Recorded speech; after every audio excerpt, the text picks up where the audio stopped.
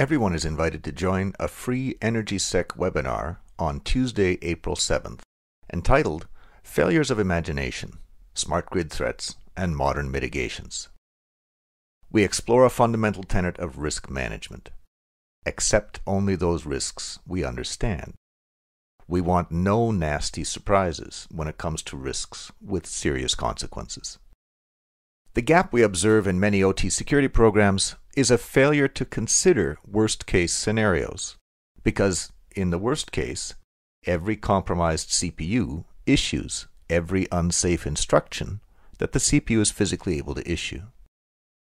We consider worst case scenarios in light of two recent and one upcoming methodology for addressing risk the ISA's Security PHA review approach from Kenexis, the upcoming consequence driven cyber informed engineering approach from Idaho National Labs, and Secure Operations Technology, a methodology that documents what the world's most secure sites do that is different from what most sites do.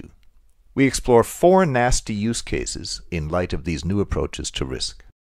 An AMI worm that does serious damage to metering infrastructure, widespread tampering with protective relays that leads to a cascading failure of the power grid, a consumer safety disaster that implicates the smart grid, and connections to a compromised cloud service provider that leads to ransomware seeded simultaneously at dozens of our power plants.